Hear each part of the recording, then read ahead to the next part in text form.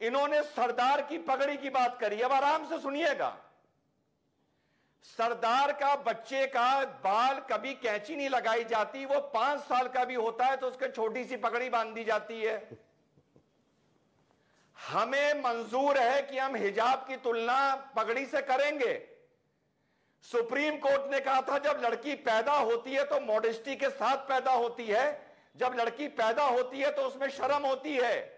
अमीश बोलता है तभी तो बड़ा इसका सीधा सा समाधान है। मुसलमान लोग इस बात की कसम खा लें कि लड़की जैसे ही चार साल की होगी उसको पूरी ज़िंदगी की तरह हिजाब पहनाने लगेंगे। हर मुसलमान लड़की को हिजाब पहनाने लगेंगे। इसको अपने रिलीजन का हिस्सा मान लें। तो फिर सरदार से तुलना करें। यह नहीं चलेगा कि आज मैंने हिजाब पहना कल उतार दिया। फिर एक महीने बाद पहना, फिर उतार दिया। ये नहीं चलेगा। अगर सरदार की पगड़ी से तुलना कर रहे हो तो सरदार का बच्चा जैसे छह साल की उम्र से पगड़ी पहनता है, अपने घर की लड़कियों को छह साल की उम्र से हिजाब पहनाओ।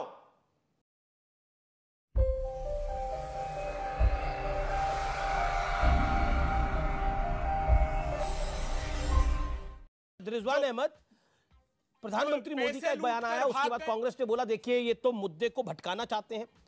और ये प्रधानमंत्री ने खुद बयान नहीं दिया उन्होंने कोट करके दिया। टीएमसी ने के एक बड़े नेता ने ये बयान दिया कि हम सिर्फ़ इसलिए आए कि हिंदू वोटों का बंटवारा हो जाए और बीजेपी गोवा में हार जाए। किसका वोट इकट्ठा करना चाहते हैं? ये कोई भी समझदार व्यक्ति आकलन इसका निकाल सकता है। कांग्रेस पार्टी कह रही है कि हम तो बेरोजगारी की बात करना चाहते हैं लेकिन इनके नेता कह रहे हैं कि महिलाएँ अगर हिजाब नहीं पहनती तो रेप होता है। और सब संविधान की बात करते हैं। जी। जय हिंद, वंदे मातरम। अस्सलाम वालेकुम। जहाँ तक आपकी ये बात है कि कौन बांटना चाहता है, वो तो अभी कुछ दिन पहले ही इंटरव्यू में साहब ने इनके बोला था कि कहीं जाओ तो ठाकुर मिलता है, पहले कहीं जाओ तो यादव मिलता था। बार बार वो 9 परसेंट, ग्यारह परसेंट यादवों को ललकारते रहते हैं। और आने वाले 10 तारीख को पता चल जाएगा कि उनका हाल क्या होने जा रहा है। ये मैं आपको पर्सनली बता दूँ, पहली बात। डिबेट के शुरू में एमआईएम के प्रवक्ता ने बोला कि आज दिल बहुत दुखा जब उस औरत के सर के ऊपर से, मोहतरमा के सर के ऊपर से दुपट्टा हटाया गया। अमीज भाई, जो उस औरत ने जिल्लत, मान लीजिए जिल्लत झेली या उसको बुरा लगा, उसी जिल्लत के दम पर तो एमआईएम जैसे लोग अपनी दुकान चला रहे हैं, अपनी रोटी सेक रहे हैं। दूसरी बात, तीसरी बात उस दिन आपके डिबेट में निकली थी शाह बानो और सायरा बानो की। अरे साहब, शुक्र है कि शाह बानो और सायरा बानो हमारी कौम की शेरनियाँ इस दुनिया, इस हिंदुस्तान में उन्होंने जन्म लिया। अब सोचिए कितना मज़ा आता कि मुसलमान हिजाबन औरत हमारे देश की प्रधानमंत्री बन गई, मान लीजिए। अब आप सोचिए क्या होगा उसके हस्बैंड ने उसको अगर तिल्ला के बिद्दत दे दी बतौर प्रधानमंत्री। अगर सायरा बानो ना होती तो मुसलमान, हिजाबन औरत प्रधानमंत्री को उसका शोहर तल्ला के बिद्दत दे सकता है। कितना मज़ा आता।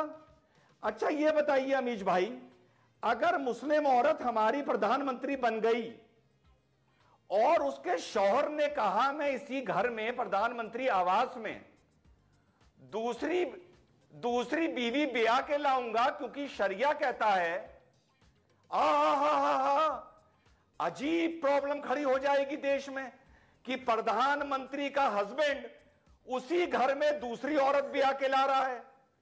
और मान लीजिए उसने एक साल बाद कहा, मैं तीसरी ब्याह के लाऊँगा। तो क्या प्रधानमंत्री के आवास में तीन तीन औरतें रहेंगी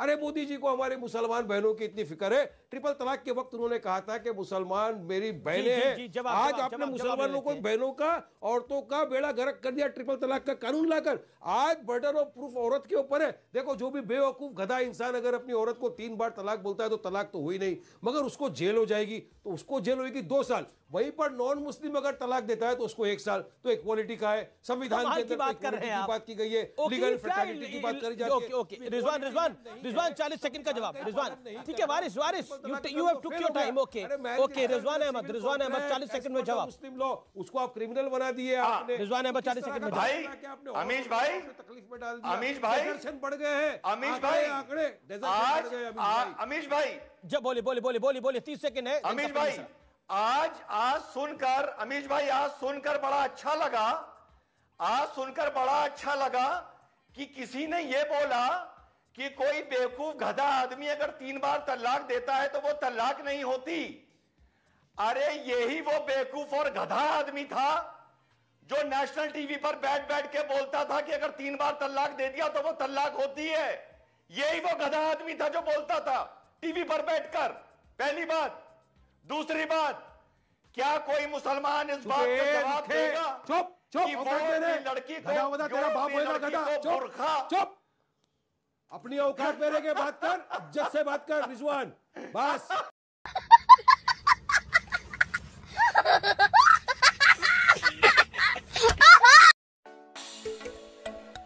तो दोस्तों, अगर आपने वीडियो यहाँ तक देखी है तो वीडियो ज़रूर थोड़ी बहुत आपको अच्छी लगी होगी, इसलिए वीडियो को लाइक कर दीजिए, शेयर कर दीजिए, और ऐसे ही वीडियो अगर आप और देखना चाहते हैं तो मेरे चैनल को सब्सक्राइब कर दीजिए। धन्यवाद।